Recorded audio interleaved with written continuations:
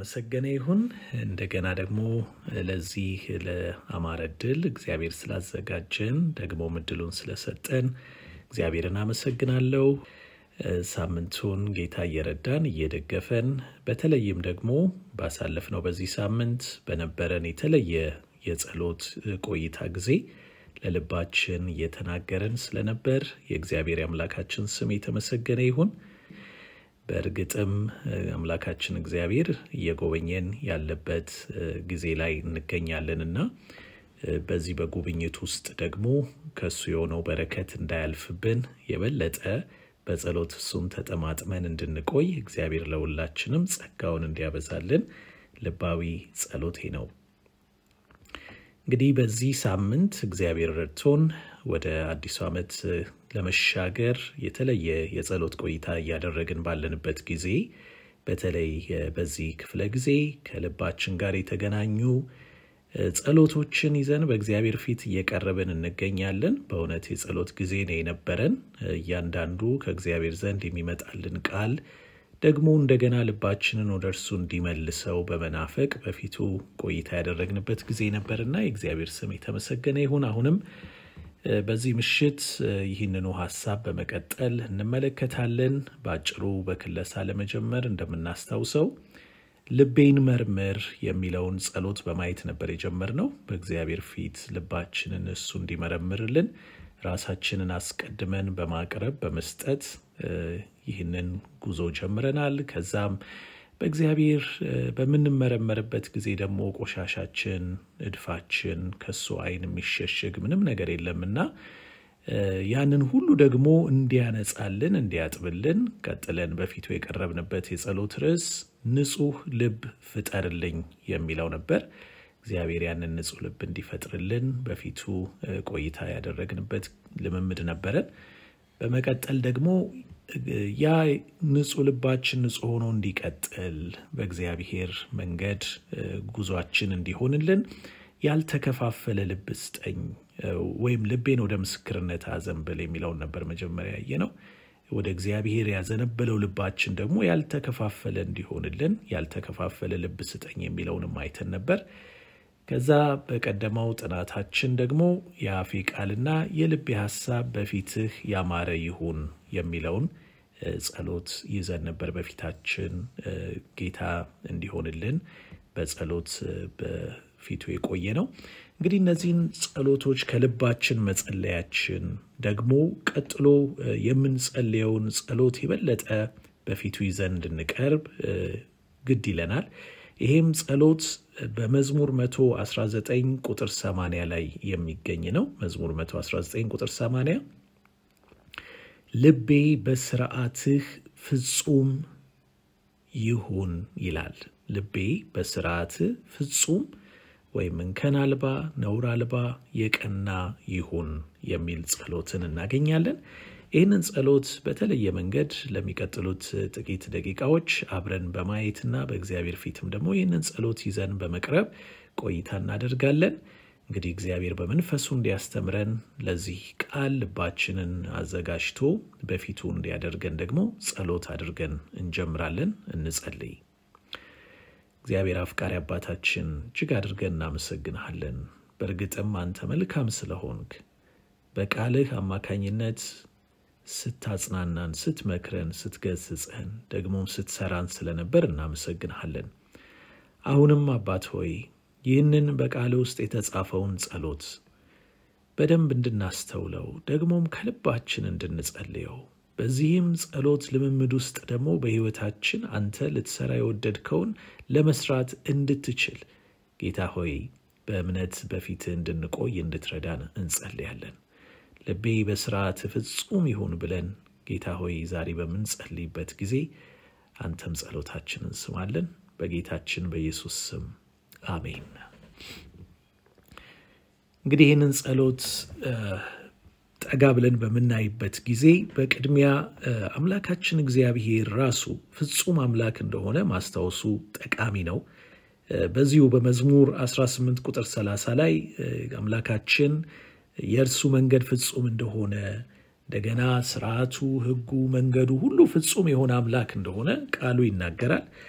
የመጀመሪያውንም የመጽሐፍ ቅዱሳችን መጽሐፍ ዘፍጥረትን ስናነብ እግዚአብሔር ሁሉን በፈጠረ ጊዜ ሁሉን ፍጹም አድርጎ እንደፈጠረው እንከን አልባ እንደነበረም እናነባለን። በዘፍጥረት ምዕራፍ 1 ቁጥር 31 ላይ እግዚአብሔር የሰራውን ሁሉ በስድስት ቀን ያዘጋጀውን የፈጠረውን አየ ይላል። እነሆም እጅግ መልካም ነበር ተብሎ ተጽፎም እናነባለን። አዎ ፍጹም የሆነው አምላክ ሁሉን ፍጹም አድርጎ እጅግ መልካም አድርጎ ነው የሰራው የፈጠረው። እንግዲህ ይህንን ፍጹም የሆነውን የእግዚአብሔርን ፍጥረት ደግሞ ያበላሸው የኃጢአት መግባት እንደሆነ ቀጥለን አሁንም ቅዱስ ቃሉን ስናነብ እናገኛለን። ግን ለዚያም ቢሆን አምላካችን እግዚአብሔር ብዙ ዋጋ ያስከፈለውን መፍትሄ እንዳዘጋጀ አሁንም ቃሉ ያስተምረናል። ራሱን አሳልፎ በመስጠትና እንደገና እኛን ወደዛ ወደ መጀመሪያው እቅዱ ፍጥረት ዓለምን ሁሉ ለመመለስ አሁንም አምላካችን በስራ ላይ እንደሚገኝ ቃሉ ጨምሮ ያስተምረናል።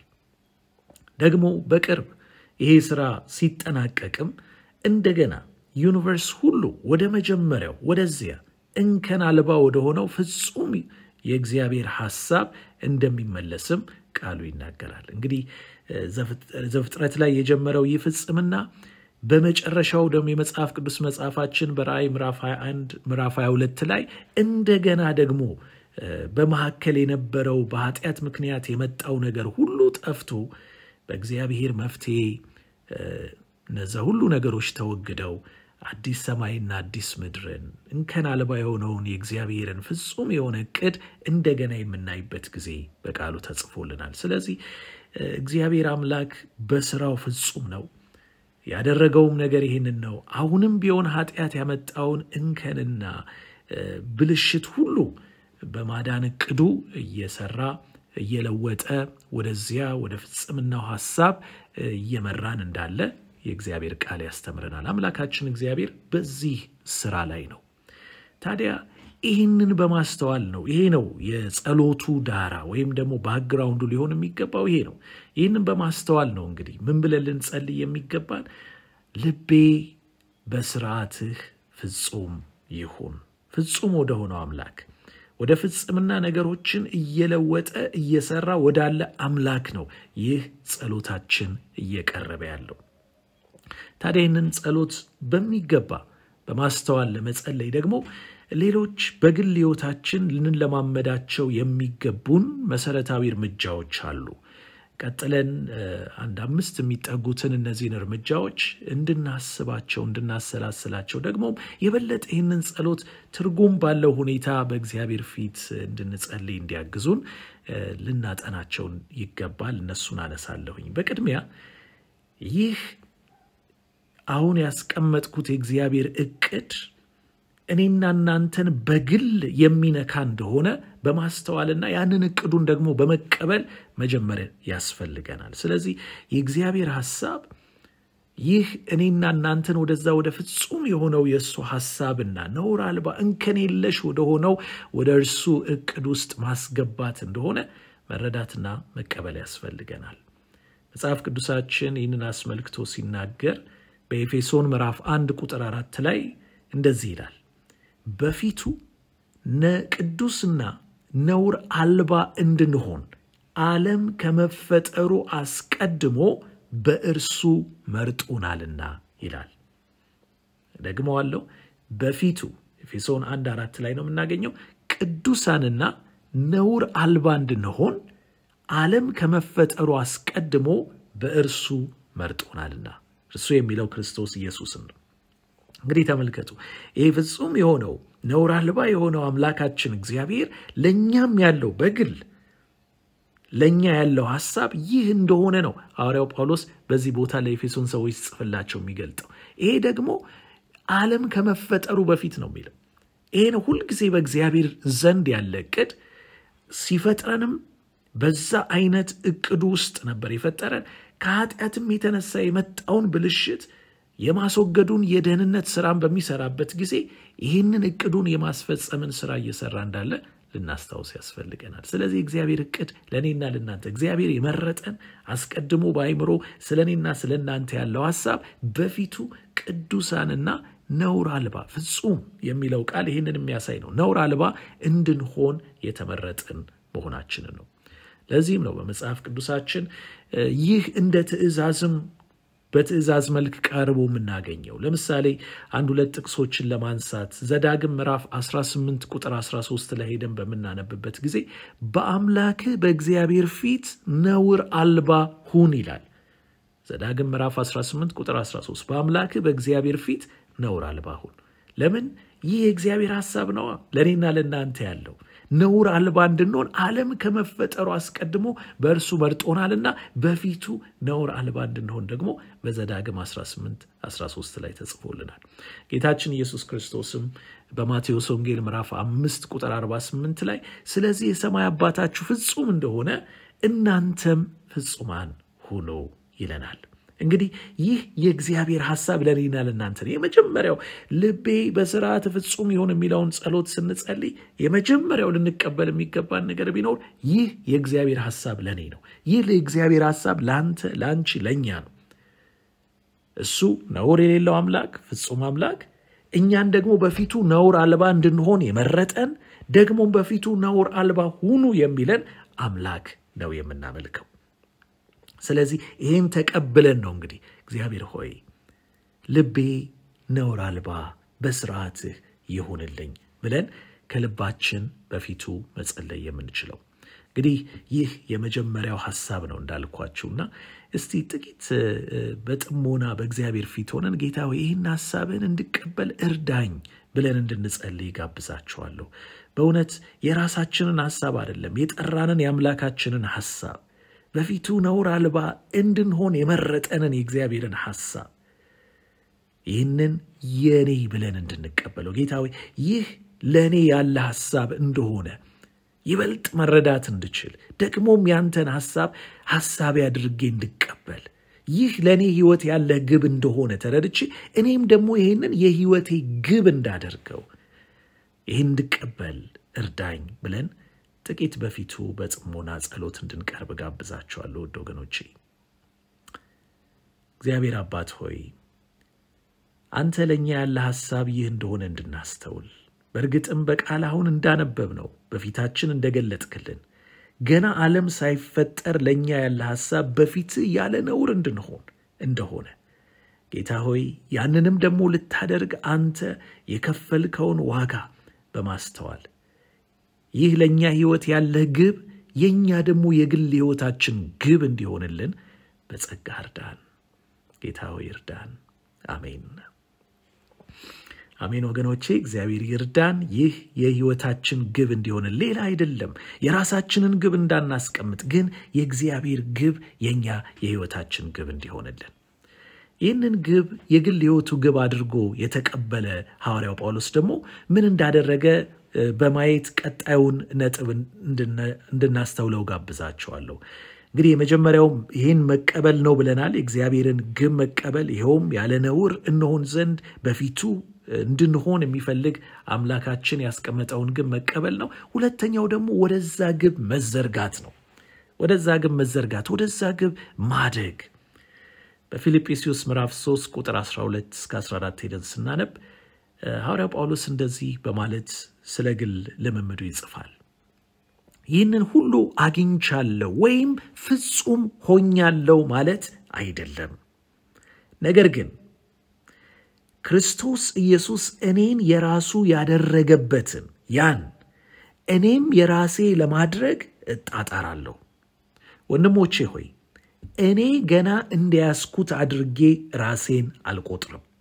ነገር ግን አንድ ነገር አደርጋለሁ፣ ከኋላዬ ያለውን እየረሳው ከፊቴ ወዳለው እዘረጋለሁ። እግዚአብሔር በክርስቶስ ኢየሱስ ወደ ላይ ስለጠራኝ ሽልማት ለመቀዳጀት ወደ ግቡ እፈጥናለሁ። እግዚአብሔር ይመስገን። ይሄ ነው እንግዲህ ወገኖቼ የእግዚአብሔር ግብ ለእኛ ህይወት ምን እንደሆነ ከተቀበልም በኋላ ቀጣዩ እርምጃ መሆን ያለበት ወደዛ ግብ መዘርጋት ነው። ያለ ነውር ያለ ነቀፋ በፊቱ እንድንሆን ወደዚህ ነው እንግዲህ እግዚአብሔር የጠራን። ወደዚህ ስለጠራኝ ይላል ሐዋርያው ጳውሎስ ገና እንደያዝኩት አልቆጥርም፣ ፍጹም ሆኛለሁ አልልም። አላሁንም በህይወቴ ሊጠራ ሊቃና ሊስተካከል ሊሰራ ሊጠረብ የሚገባው ነገር አለ። ስለዚህ ምን አደርጋለሁ? የኋላዬን እየረሳው ወደፊት እዘረጋለሁ። በሌላ አነጋገር ጳውሎስ እያለ ያለው ከዕለት ወደ ዕለት በእድገት ጎዳና ወደፊቱ ገሰግሳለሁ። ግቤ ወደ ክርስቶስ ፍጽምና መድረስ ነው።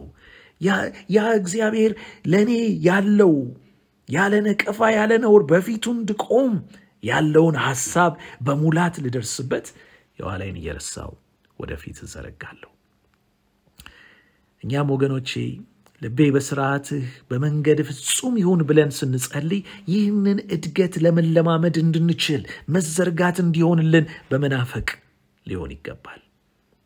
እዚህ ላይ ወገኖቼ ልብ ልንል የሚገባን በዚህ የእድገት ጎዳና ወደፊት ለመዘርጋትና በክርስቶስ ወዳለው ፍጹምነት ደረጃ ለመድረስ እዘረጋለሁ ካለው በፊት እየረሳው ያለውን ማስታወስ ያስፈልገናል። መርሳት ከኋላዬ ያለውን እየረሳው ከፊቴ ወዳለው እዘረጋለሁ። ወገኖቼ ዛሬ እንዳናድግ አንቀው ከያዙን ወደዚህ ወደ እግዚአብሔር ግብ ወደ ፍጽምናው ሙላት አንድ ደረጃ ወደፊት እየገፋን እንዳንሄድ አንቀው አስረው ቋጥረው የያዙን ነገሮቻችን ልንረሳቸው የሚገባን ምናልባት ያለፈው ጊዜ ውድቀታችን ወይም ደግሞ ስኬታችን ሊሆን ይችላል። ለዚህ ነው ጳውሎስ በሁለቱ የኋላይን እየረሳው በማለት የሚናገረው። አንዳንድ ጊዜ ውድቀታችን ይይዘናል። ራሳችንን ይቅር ማለት አቅቶን ወደፊት መዘርጋት ይከብደናል። ሐዋርያው ጳውሎስ ከኃጢአተኞች ዋና ቁንጮ የምሆን እኔ ነኝ ይላል። ያደረገውን ነገር መለስ ብሎ ሲያስበው ምን ያህል በቀናይነት ሄዶ የሰራውን እጅግ ከባድ የሆነ ነገር በማሰብ እኔ ጭንጋፍ ይላል። ነገር ግን እዛ ላይ አያቆምም። ያንን ብቻ ቢያስብ ራሱን ይቅር ማለት በማይችልበት የእግዚአብሔርንም ይቅርታ ሊቀበል በማይችልበት አረንቋ ውስጥ በተዋጠ ነበር። ነገር ግን ምን አለ? ያ የእድገት አቅጣጫውን እንደሚያስተጓጉልበት ስለሚያውቅ ያንን በመርሳት ይላል ከኋላው ያለውን ውድቀቱን በመርሳት ነገር ግን ወደፊት እዘረጋለሁ። ወገኖቼ ውድቀታችን ብቻ አይደለም እንዳናድግ ወደኋላ የሚይዘን አንዳንድ ጊዜ በስኬቶቻችንም የምንታሰርበት ጊዜ አለ። ሁልጊዜ በትዝታ የምንኖር ይህን አድርግ ያለው ያን አድርግ ያለው ብለን ያለፈ ገድልን ብቻ የምናስብ ስንሆን ወደፊት እንዳንጓዝ እግዚአብሔር ወዳሰበልን ወደ ጠራን ወደዛ ከፍታው እንዳንወጣ ያለ ነውር ያለ ነቀፋ ወደሚለን ግብ እንዳንደርስ ሊይዘን ይችላል። ስለዚህ ስኬታችንም ሆነ ውድቀታችን ወደፊት እንዳንሄድ ወደኋላ አስሮ የሚይዘን ማንኛውም አይነት ከኋላ ያለ ነገር ወደኋላ ሊቀር ይገባል። ለዚህ ነው ሐዋርያው ጳውሎስ የኋላዬን እየረሳው ወደፊት እዘረጋለሁ በእድገት ጎዳና ወደ ተጠራውበት ወደዛ ግብ እፈጥናለሁ ይለናል። ስለዚህ ወገኖቼ ዛሬም ለእኔና ለእናንተ ይህ የማደግ ናፍቆት እንዲሆንልን አሁ የእግዚአብሔርን ግብ ለእኔና ለእናንተ ሕይወት ያለውን ከተረዳም በኋላ ደግሞ ወደዛ ለመሄድ እርምጃችንን የምናፈጥን እንድንሆን ወደዛ ለመዘርጋት የምንናፍቅ ከኋላችን አስሮ የያዘንን ነገር ወደኋላ ለመጣል ፈቃደኞች የምንሆን እንድንሆን እግዚአብሔር እንዲረዳን ልቤ በስርዓት ፍጹም ይሁን በምንልበት ጊዜ ይህንን በመለማመድ እንዲሆንልን እግዚአብሔር እንዲረዳን ልንጸልይ ይገባል። እንጸልይ ወገኖቼ። እግዚአብሔር ሆይ እናመሰግንሃለን። በእውነት አንተ ለእኛ ያለህን ግብ ብቻ ሳይሆን ወደዛ ግብ ደግሞ እንድንፈጥን እንድንዘረጋ ማደግ የህይወታችን መሻት ፍላጎት እንዲሆን በዚህ ቃል ስለተናገርከን ተመስገን። አሁንም እንጸልያለን ጌታ ሆይ በእውነት ያላደገ የቆመ እድገታችን በአንድም በሌላም የተስተጓጎለብን ብንኖር አንተ በዚህ ሰዓት ግብህን እንድታሳየን ለእኛ ያለህን ያንን በፊት ያለ ነውር ያለ ነቀፋ ፍጹም ሆነን እንድንቀርብ ያ ያንተን ግብ በፊታችን አሳይተ። ጌታ ሆይ ከያዘን ከማንኛውም ወደኋላ ከሚጎትተን ነገር አላቀህ ወደፊት እንድንዘረጋ ወደዛ ግብ እንድንፈጥን አንተ እንድትረዳን ጌታ ሆይ ይህ ቃል ዛሬ ያንን የእድገት ልምምድ እንድንቀጥልበት እንድንጀምረው ያቋረጥነውም ካለን እንዲያግዘን አንተ በጸጋ እርዳን። ጌታ ሆይ ተመስገን። ወደ ግብህ ልታፈጥነን አንተ ከእኛ ጋር ስላለህ እናመሰግንሃለን። አሜን። ወገኖቼ እንግዲህ ግቡን መቀበል ብለናል። የመጀመሪያው ወደ ግቡ መፍጠን ብለናል። ሁለተኛው በዚህ ደግሞ የእድገት ጎዳና ወደፊት ወደ ግቡ በምንዘረጋበት የእድገት ጎዳና ይሄ መዘርጋታችን እንዲቀጥል ደግሞ ቀጥሎ የምናየው ነጥብ በጣም ወሳኝ ነው። ይኸውም በቃሉና በመንፈሱ መሞላት ነው። በዚህ በመዝሙር 119 ቁጥር 80 ላይ እንግዲህ እየጸለይንበት ያለነውን ይህንን ልቤ በስርዓት ፍጹም ይሁን የሚለውን ጸሎት በደንብ ስናጤ ነው እንዲሁ ልቤ ፍጹም ይሁን ብቻ አይደለም የሚለው እንግዲህ ልቤ በስርዓትህ ነው የሚለው በስርዓትህ ፍጹም ይሁን እንግዲህ ይህ ስርዓት የሚለው ቃል የአምላካችንን የእግዚአብሔርን ሕግ ቃሉን የፈቃዱ መገለጫ የሆነውን የእሱን ስርዓት የሚያመለክት ነው።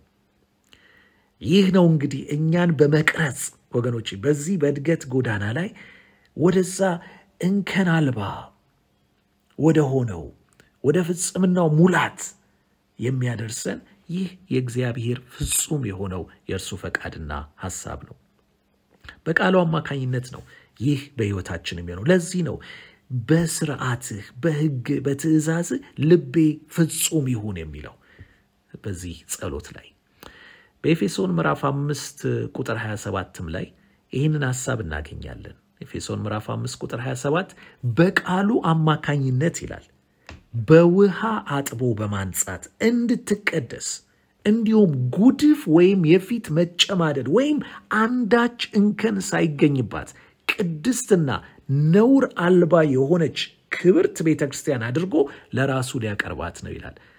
ስለ ጌታችን ስለ ኢየሱስ ክርስቶስ እና ስለ ቤተ ክርስቲያን ቤተ ክርስቲያን ስንል የእሱ አካል የሆነ እኔና እናንተን ማለት ነው። ስለ እኛ በሚናገርበት ጊዜ ምን እንድትሆን ይላል? እንግዲህ ልብ ብላችሁት እዚህ ጋር እንዲሁም ጉድፍ ወይም የፊት መጨማደድ ወይም አንዳች እንከን ሳይገኝባት። ይህ ነው እንግዲህ ያለ እንከን ያለ ጉድፍ ፍጹም ይሁን የሚለው የያዘው ይህንን ነው። እንደዛ እንድትሆን በምኑ ነው የሚለው?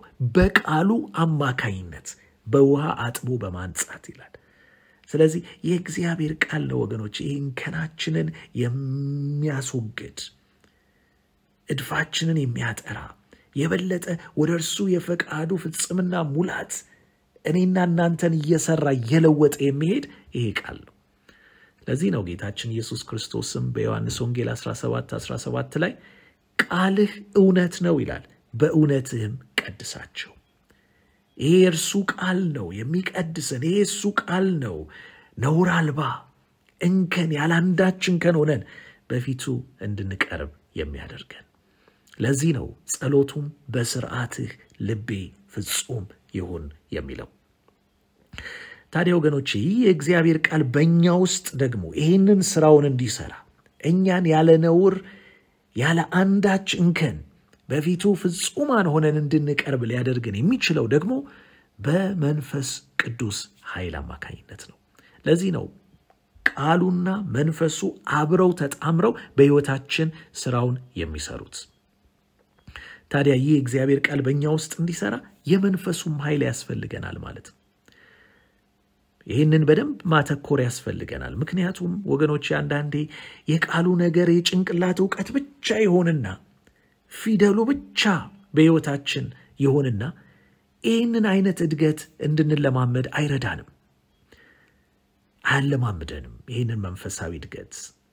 ለዚህ ነው ቃሉ ከመንፈሱ ጋር ሐዋርያው ጳውሎስ ይህንን በተመለከተ ሲጽፍ ለቆሮንቶስ ሰዎች በሁለተኛ ቆሮንቶስ ምዕራፍ 3 ቁጥር 6 ላይ ፊደል ይገላል፣ መንፈስ ግን ሕይወትን ይሰጣል ይላል። ይህን በሚናገርበት ጊዜ እንዲሁ ከእግዚአብሔር መንፈስ በተነጠለ መልኩ የቃሉን ፊደል ባነበነቡና ምናልባትም ደግሞ ተረድተናል ብለው በሚናገሩ ሰዎች ሕይወት ውስጥ ፍሬ ባልተገኘበት ይልቁንም ያን ነገር እናውቃለን ብለው በዛ ባወቁት ነገር እየሞቱ ያሉበትን ነገር በማሰብ ነው።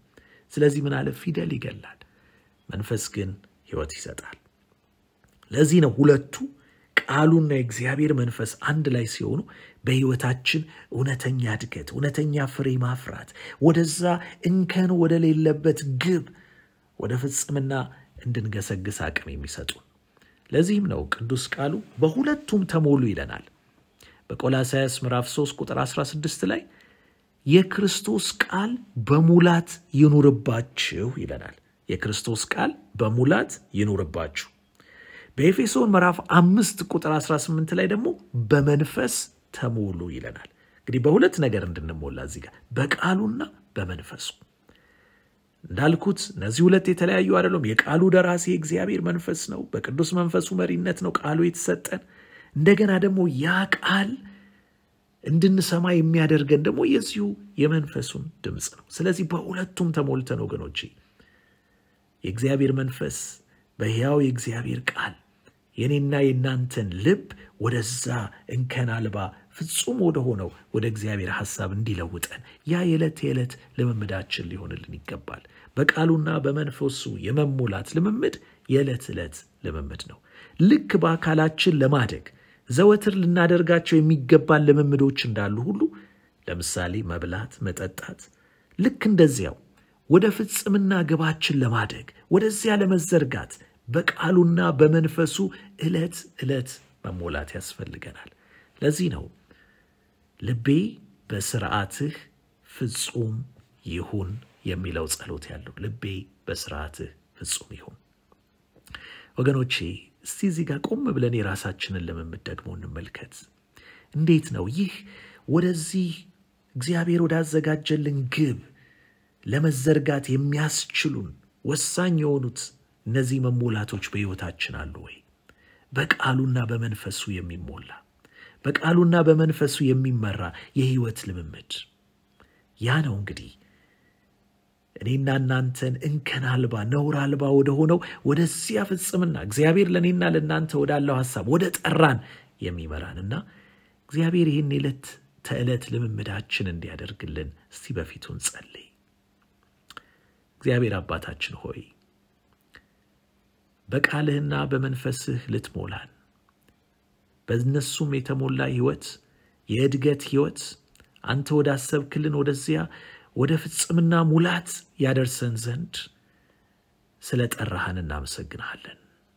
ጌታ ሆይ እባክህን ይህ መሞላት የዕለት ተዕለት ልምምዳችን እንዲሆንልን ዕለት ዕለት በቃልህ እንድትሞላን ጌታ ሆይ ዕለት ዕለት በመንፈስህ እንድትሞላን በቃልህ ደግሞ በመንፈስህ አጥበህ ጌታ ሆይ እንከን አልባ ነውር አልባ ፍጹም የሆነውን ያንን ያንተን ለእኔና ለወገኖች ያለህን እቅድ በሕይወታችን መለማመድ ወደምንችልበት እድገት እንድታሳድገን እንጸልያለን።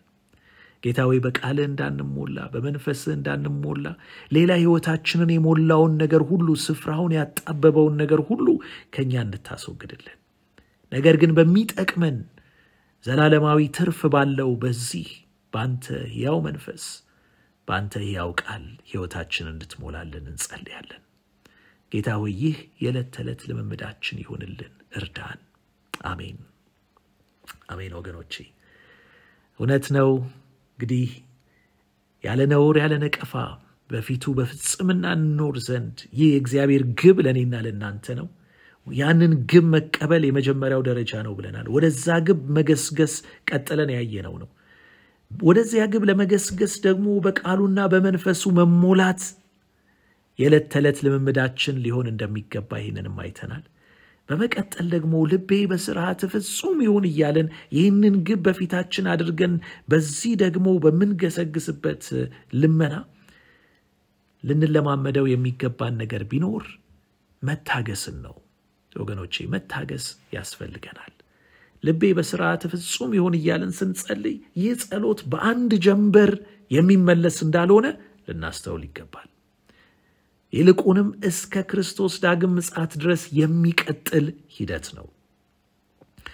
ሐዋርያው ጳውሎስ አሁንም ለፊልጵስዩስ ሰዎች ሲጽፍ እንደዚህ ይላል። በምዕራፍ 1 ከ9 እስከ 11 ስናነብ ፍቅራችሁ በጥልቅ እውቀትና በማስተዋል ሁሉ በዝቶ እንዲትረፈረፍ እጸልያለሁ ይልና ይኸውም ይላል ከሁሉ የሚሻለውን ለይታችሁ እንድታውቁ እስከ ክርስቶስ ቀን ድረስ ንጹሐንና ነቀፋ የሌለባችሁ እንድትሆኑ። እስከ ማን ቀን ድረስ? እስከ ክርስቶስ ቀን ድረስ ንጹሐንና ነቀፋ የሌለባችሁ እንድትሆኑ ለእግዚአብሔር ክብርና ምስጋና በኢየሱስ ክርስቶስ በኩል በሚገኘው የጽድቅ ፍሬ እንድትሞሉ ነው ይላል። እንግዲህ እዚህ ላይ በደንብ እንድንይዘው የምፈልገው ነጥብ ምን የሚለው ነው? እስከ ክርስቶስ ቀን ድረስ ንጹሐንና ነቀፋ የሌለባችሁ እንድትሆኑ። ወገኖቼ ይሄ ሐዋርያው ጳውሎስም እዘረጋለሁ ያለው ከፊቱ ያለው ግብ ወደዛ ገና እንዲያስኩት አልቆጥርም ብሎ ሲዘረጋ ሂደት ነው። ያ ሂደት ደግሞ እስከ ማን? እስከ ክርስቶስ ቀን ድረስ እግዚአብሔር ነገሮችን ሁሉ ጠቅሎ አስቀድመን እንዳየነው ሁሉን ፍጹም አድርጎ ፈጥሮ እንደጀመረ እንደገና ወደዛ ወደ መጀመሪያው ቅዱ እስከሚመልስበት ጊዜ ድረስ የሚቀጥል ሂደት ነው። ለዚህ ነው እስከ ክርስቶስ ቀን ድረስ ንጹሐንና ነቀፋ የሌለባችሁ እንድትሆኑ የሚለን። ስለዚህ ወገኖቼ መታገስ ያስፈልገናል። ተስፋ ልንቆርጥ አይገባም። በሌላ አነጋገር ጠላታችን ብዙ ጊዜ የሚጠቀምበት ወጥመድ ይሄ ስለሆነ መጠንቀቅ ያስፈልገናል ወገኖቼ። አንዳንድ ጊዜ በቃ ምንድን ነው የኔ ህይወት ማደጉ አይታየኝም፣ አሁንም መውደቅ፣ አሁንም መውደቅ እንዴት ይሆናል? በቃ አንተ ባትሆን ነው ለአንተ አይሆንህም፣ ክርስትና ከባድ ነው። እነዚህንና የመሳሰሉትን ነገሮች ጠላት በጆሮአችን ሹክ እያለ ተስፋ ሊያስቆርጠን ወደኋላ ሊመልሰን ይጥራል። ነገር ግን እንደዚህ አይነቱ ፈተና በሚመጣብን ጊዜ ይህን እናስታውስ። እግዚአብሔር በሕይወታችን በስራ ላይ ነው። እስከ ክርስቶስ ቀን ድረስ የሚለውን እናስታውስ። አዎ ይቀጥላል። ልቤ በስርዓት ፍጹም ይሁን እያልን አሁንም አሁንም በፊቱ እስከቀረብን ድረስ ወገኖቼ ከውድቀታችን እያነሳ ከአንድ ወደ ሌላ ምዕራፍ እያሻገረ እግዚአብሔር በእኛ የጀመረውን ስራ እስከ ክርስቶስ ዳግም ምጽአት ከፍጻሜ ያደርሰዋል ይላል ያደርሰዋል። ስለዚህ ተስፋ ልንቆርጥ ሳይሆን ልንታገስ ይገባል።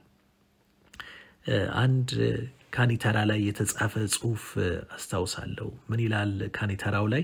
እንግዲህ ብዙ ጊዜ በመንገድ ላይ ስራ ሲኖር እንደዚህ ሲኖር አንደር ኮንስትራክሽን ወይም በስራ ላይ ነው የሚል ነገር ይጻፋል እና ልክ እንደዛ አይነት ምልክት ተቀምጦ እግዚአብሔርም በእኔ ህይወት በስራ ላይ ነው እና ታገሱኝ ይላል እዛ ካኒተራው ላይ የተጻፈው ጽሁፍና እውነት ነው ወገኖቼ እግዚአብሔር በእኔና በእናንተ ህይወት በስራ ላይ ነው። ስለዚህ በስራ ላይ ያለውን ነገር እንደምንታገስ በትዕግስትም ደግሞ ስራውን ቀጥለን ወደ ፍጻሜ እንዲደርስ እንደምናደርግ ልክ እንደዛው እግዚአብሔርም በእኛ ህይወት የጀመረውን ስራ እንዲቀጥል በትዕግስት ከእርሱ ጋር እንድንሆን ይህንን ልምምድ እግዚአብሔር እንዲሰጠን ልንጸልይ ይገባል። ተስፋ እንዳንቆርጥ የጠላታችንን ተስፋ አስቆራጭ ድምፅ ሰምተን ወደኋላ እንዳንል ነገር ግን አዎ ድክመታችንን ሲያሳየን ምናልባት ወደ ትፋታችን ስንመለስ አንተም ማትረባ ማጠቅምነ ሲለን አይደለም፣ እግዚአብሔር በስራ ላይ ነው። በወድቅ እንኳን እነሳለሁ። ጠላቴ ሆይ በእኔ ደስ አይበልሽ፣ እግዚአብሔር ጠርቶኛል። የኋላይን እየረሳው ወደፊት እዘረጋለሁ። እግዚአብሔር በሕይወቴ በስራ ላይ ነው። ወደፊት እሄዳለሁ። እርሱም ደግሞ እስከ ክርስቶስ ቀን ድረስ ቃሉ እንደሚለው ንጹሕና ያለ ነቀፋ ሊያደርገኝ ይህ ነው የእርሱ እቅድ። ወገኖቼ ምናልባት በእንደዚህ አይነት ለራሳችንም ትዕግስት ባጣንበት ሁኔታ ራሳችንን አግኝተነው ቢሆን እድገታችን በዚህ ሁኔታም ደግሞ ተስተጓጉሎብን ቢሆን ይህን አስታውስ። ስለዚህም በፊቱ እግዚአብሔር ሆይ ልቤ በስርዓት ፍጹም ይሁን እንበለው። ጌታ ሆይ ልባችን በስርዓት ፍጹም ይሁን ብለን ስንጸልይ አንተ በእኛ ሕይወት ውስጥ በሥራ ላይ እንዳለ ደግሞ ማስተዋል እንድንችል አንተ እርዳን። ስለዚህም እንድንታገስ፣ እንድንጠብቅ፣ ተስፋ እንዳንቆርጥ የጠላትን ድምፅ ሰምተን ጌታ ሆይ ከዚህ የእድገት ጉዞ ራሳችንን ወደ ኋላ እንዳናደርግ ነገር ግን አንተ እስከ ምጽአትህ ድረስ ይህንን ሥራ እየሠራ እንደምትቀጥል በማመን አንተን በትዕግሥት መጠበቅ እንድንችል እርዳን። ጌታ ሆይ እርዳን። አሜን። አዎ ወገኖቼ፣ መታገስ ወሳኝ ነጥብ ነው። በመጨረሻ ላነሳ የምፈልገው ከዚሁ ከመታገስ ጋር አብሮ የሚሄደውን መታመንን ነው። እንታመነው እግዚአብሔርን ወገኖቼ እግዚአብሔርን እንታመነው። ልቤ በስርዓት ፍጹም ይሁን ብለን በፊቱ በምንጸልይበት ጊዜ በእርግጥም ይህንን ጸሎት ሰምቶ የሚመልስ እሱ እንደሆነ በመታመን ይሁንልን። ምክንያቱም ቃሉ እንደዚህ ይለናልና በይሁዳ ምዕራፍ 24 ይሁዳ አንድ ምዕራፍ ነው ያለው ቁጥር 24 እና 25 ላይ እንደዚህ ይላል እንዳትወድቁ ሊጠብቃችሁና ያለ ነቀፋና በደስታ በክብሩ ፊት ሊያቀርባችሁ ለሚችለው ደግመዋለሁ፣ በደንብ ስሙት። እንዳትወድቁ ሊጠብቃችሁና ያለ ነቀፋና በደስታ በክብሩ ፊት ሊያቀርባችሁ ለሚችለው እርሱ ብቻ አዳኛችን ለሆነው አምላክ በጌታ በኢየሱስ ክርስቶስ በኩል ከዘመናት ሁሉ በፊት አሁንም እስከ ዘላለም ድረስ ግርማ ኃይልና ስልጣን ይሁን ይላል። አሜን።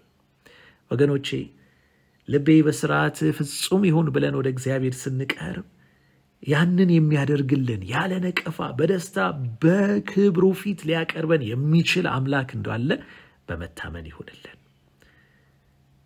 ጳውሎስ ይህንን ልቤ በስርዓት ፍጹም ይሁን የሚለውን ጸሎት በሌላ አነጋገር እንዲህ በማለት ያቀርበዋል።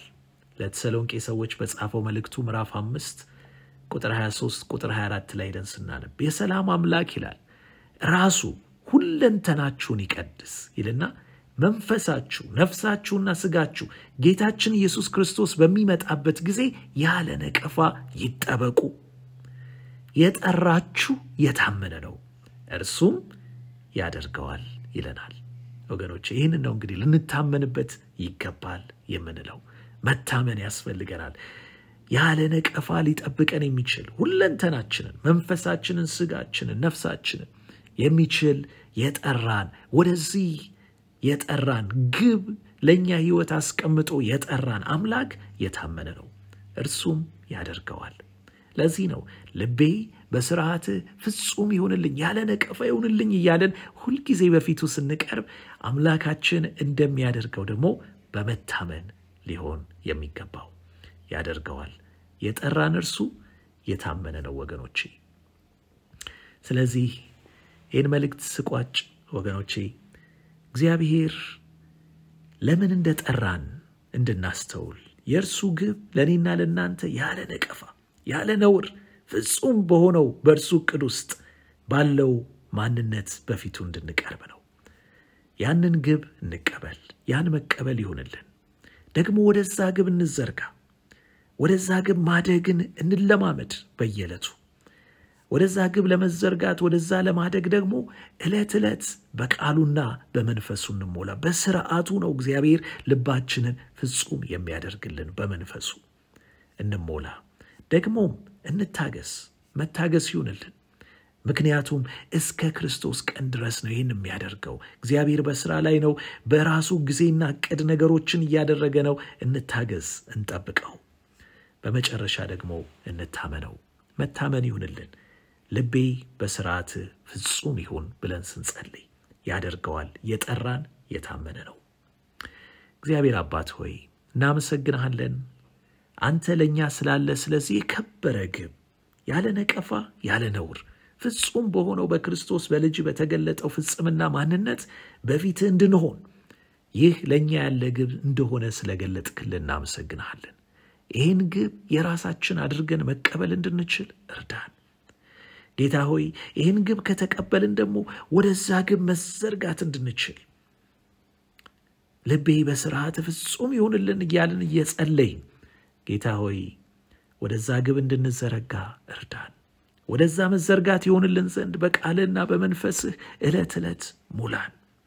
ጠላታችን ተስፋ እንዳያስቆርጠን ጌታ ሆይ አንተ በእኛ የጀመርከውን ሥራ እስከ መገለጥ ድረስ እንደምታከናውነው በትዕግሥት መጠበቅ እንድንችል ደግሞ አግዘን።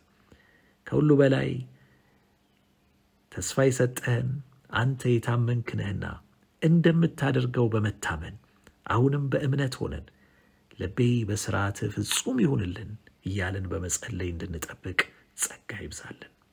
ስለ ሰማህን ተመስገን። ክብር ሁሉ ለአንተ ይሁን። በጌታችን በኢየሱስ ክርስቶስ ስም አሜን፣ አሜን። እግዚአብሔር ይባርካችሁ።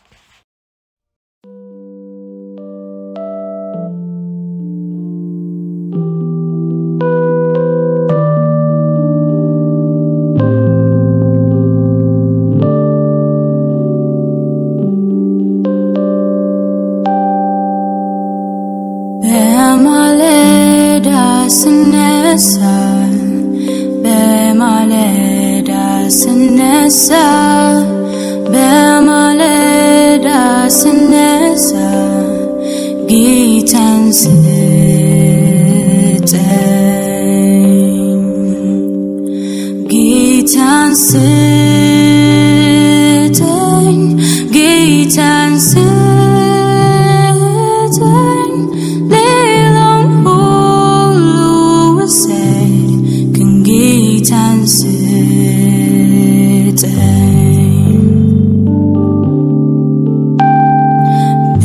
changed.